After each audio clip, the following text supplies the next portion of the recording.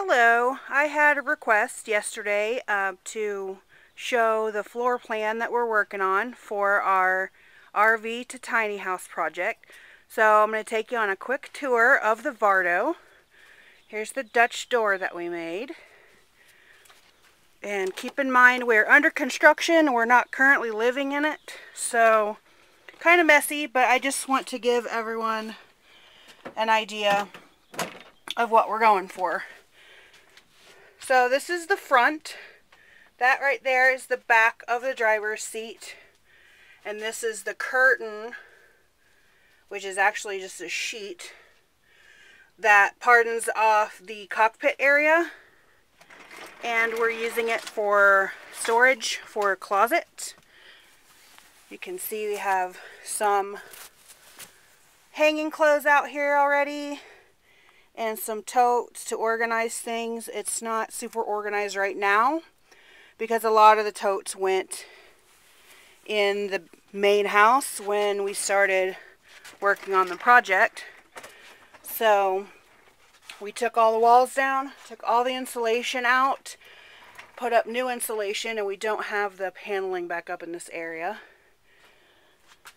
And then this is one bed slash couch.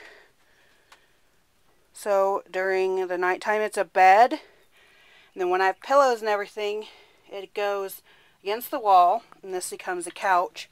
And we have what will be our book storage underneath there so we can get to it.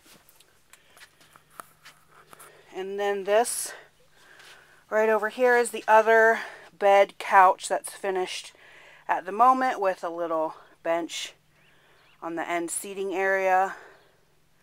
It has storage underneath also. Right now it's all full of tools. It's where we put the air conditioner in. Took out a window and put in the air conditioner because it's southern Arizona. And we need an air conditioner. We're actually kind of stuck at construction because once it gets to be about 7 in the morning, which is now, it starts to get hot. So we can only work on a little bit at a time. So this is the storage area. The generator box is under there. And then this will be storage, but right now it's just tools and whatnot. That is my husband's computer desk. I use this rolling desk right here to put my computer on. And then I can move it out of the way, put it back. And that's my husband's desk right there. So back here is the kitchen area. This platform that's all full of tools right now is going to be where the fridge and a pantry area will be. So there'll be shelves. There'll be a fridge right here. And then over here there'll be shelves up to the ceiling for food storage. And then this back wall, this is the pegboard wall that I was talking about, complete with my found deer antlers to hang towels and aprons and stuff. And I have a couple, it's kind of dark, I'm sorry, the windows are treated back here. So it actually stays cooler back here. But I have a couple of my cast iron pans that I don't use as often hanging so you can kind of see what the end result will be. All the pegs will have hooks or will have nails in the support boards here to hold the heavier stuff and then the lighter stuff will have hooks in the actual pegboard. And then from the bottom of the pegboard, this area, starting kind of where the, we have this table, all the way across the back, will be the kitchen counter. Sink right under the window. And then we're going to have just a couple of burners because it there was no baking that's going to happen in here. But a couple burners and um, I like to use an electric skillet and a crock pot a lot to cook in the RV really works well. And um, then this will just be storage area. But under the counter when we get it built will be storage area for our kitchen, tools, blender, mixer, all that kind of stuff, pots, pans, bowls, all that kind of stuff will be under there. So the entire back out about two feet from the window will be kitchen counter. And then when I bring my plants back in, they'll hang by these two windows. So this is the one section of paneling that we have finished and have the little trim around just so we can kind of see what we're going for.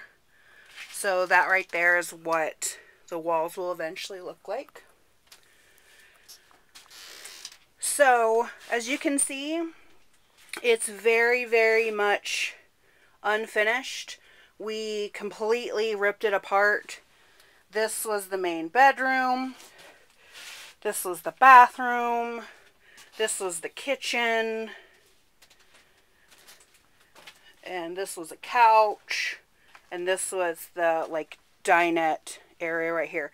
So we ripped everything out down to the bare walls and we scraped out the insulation because this is a 79 Allegro so the insulation was pretty funky. Redid it. We put in a skylight where the swamp cooler was to let some light in. And we've completely redone everything. And when it was cooler, my husband and I were staying out here um, on the couch beds as soon as we got them finished.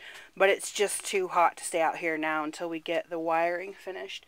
You can see we have the boxes in place. Certain places, like over here where the wood's done, the wiring's finished in the back part. We just have to finish it up here in the front and wire it in to the electric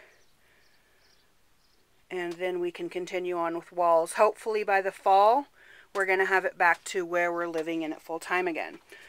So, I hope that this kind of helped you see what we're talking about with the Vardo project. And I'll post more updates as we get things done. And keep everybody posted. So thanks for watching. I hope that it cleared up what I'm talking about when I talk about the Vardo. Bye!